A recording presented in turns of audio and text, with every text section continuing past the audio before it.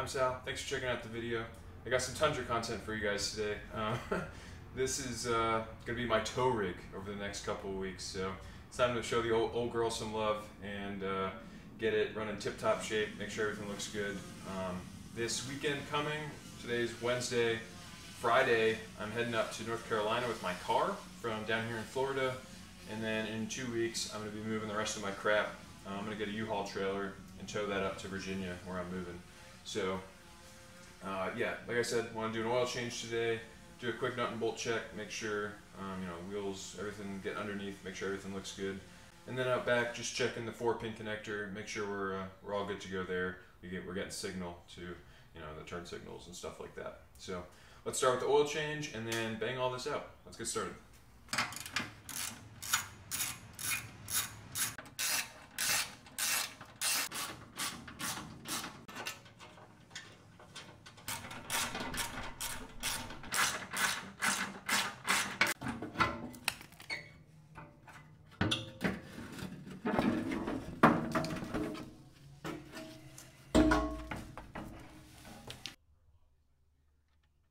Okay, so I know the oil looks really black, but it's actually only been around 5,500 miles in the truck, and I was using a full synthetic oil, so it shouldn't be an issue.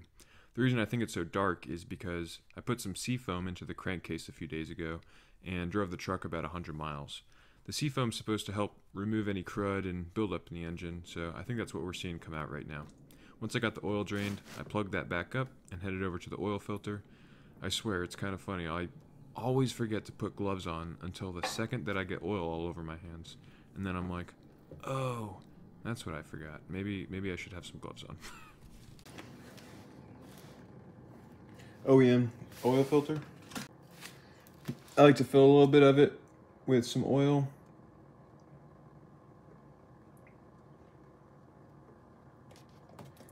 And then make sure the, the O-ring is nice and lubricated.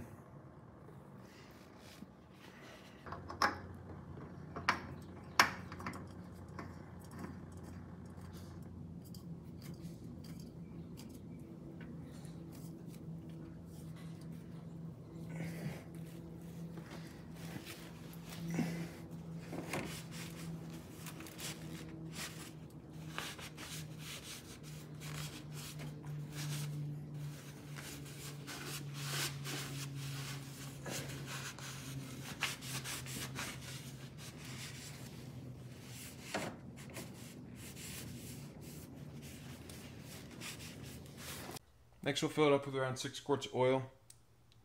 It pays to have nice friends.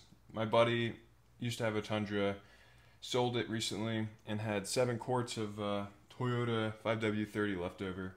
And uh, he's like, you want it? And I was like, heck yeah, free oil change. So, um, yeah, we'll be throwing this in. Takes 6.6 .6 quarts, but I'm probably going to do six and then check the dipstick, um, see how we're doing. I'm to get a a funnel.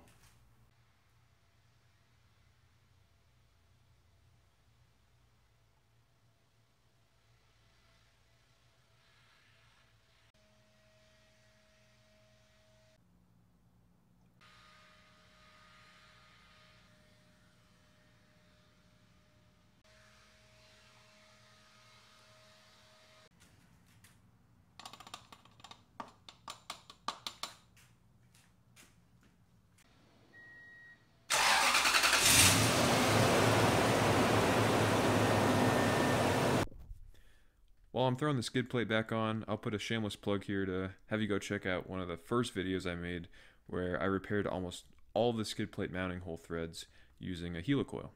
I'd never used one before, but it was super easy and really worked like a charm. Plus, now the skid plate isn't being held up by just hopes and dreams. Okay, so next up I want to test this out, make sure this is all good to go. So I'm just going to set it to 20 volts DC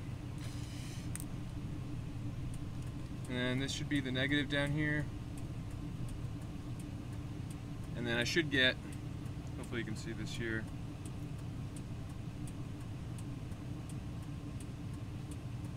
So that's the running lights.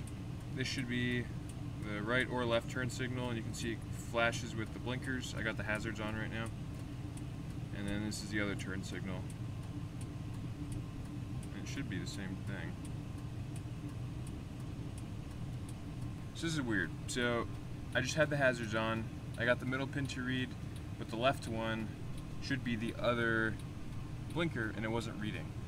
So then I tried just the left one and just the right one and I noticed that uh, when I had the right blinker on, I could hear this little switch module up in here for the for the trailer connection clicking. You can probably, hopefully you can hear it right now. And when I had the left signal on, it wasn't doing that clicking.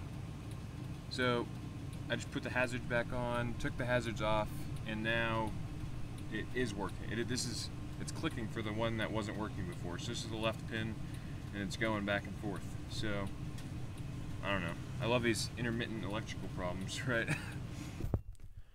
Just doing a quick nut and bolt check here. Um, I also checked out some of the suspension components while I was underneath for the oil change. Another thing that I've been putting off since I got my new wheels back in November is what to do with my stock wheel and tire setup. I had no plans to put it back on the truck, and unfortunately, the tires are seven years old and kind of dry rotted. So I just stuffed them in the attic, but now that I'm moving, I kind of need to do something with them. I honestly just don't want to have to think about them with the move and everything else happening, so I had a plan. I'll, I'll explain it in a minute. Okay, cool. So did the oil change, went through, um, checked torque on all the you know lug nuts and stuff. Something you don't want to, I don't want to happen.